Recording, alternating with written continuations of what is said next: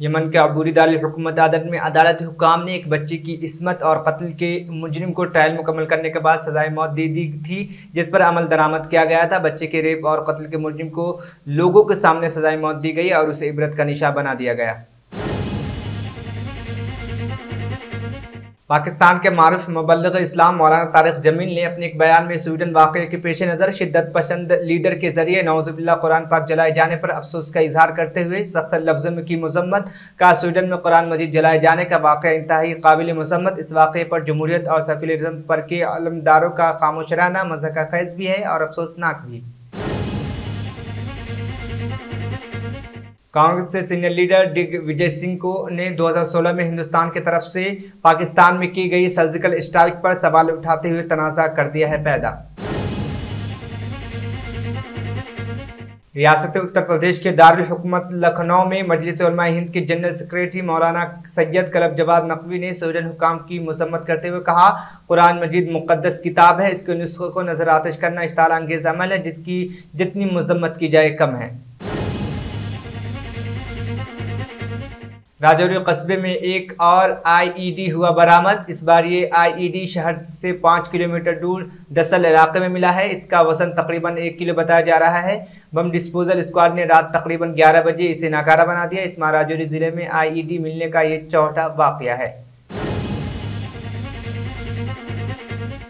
Petrol और diesel की कीमतों में कोई इजाफा नहीं किया गया। तेल कंपनियों ने मंगल को तेल की कीमतों को रखा मुस्तकम दारुल दिल्ली में पेट्रोल छियानवे आशारिया सात दो रुपये फ़ी लीटर और डीजल नवासी आशारिया छः दो रुपये फ़ी लीटर फरोख्त हो रहा है।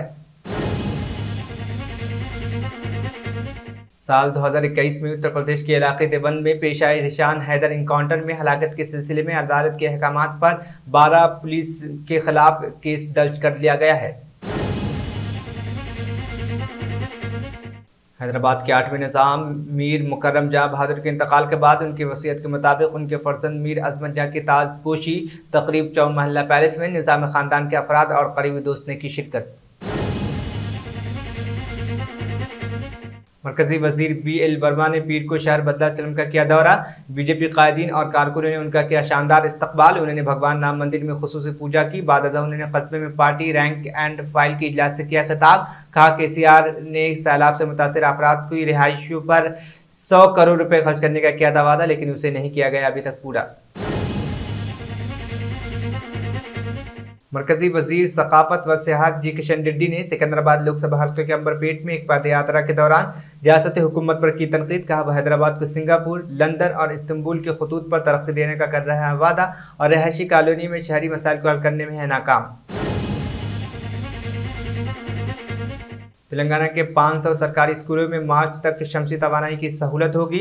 अब तक 100 से ज़्यादा सरकारी स्कूलों में सोलर पैनल लगाए जा चुके हैं और मजीद चार स्कूलों के लिए वर्कआउट है जारी। आदिलाबाद के नागोबा जतारा में पचास हज़ार कबायली ले रहे हिस्सा। तेलंगाना, आंध्र प्रदेश, महाराष्ट्र, छत्तीसगढ़ और बिहार रियासतों के कई हिस्सों से ताल्लुक रखने वाले तकरीबन पचास हज़ार कबायली और गैर कबालियों ने मंदिर का किया दौरा और की पूजा।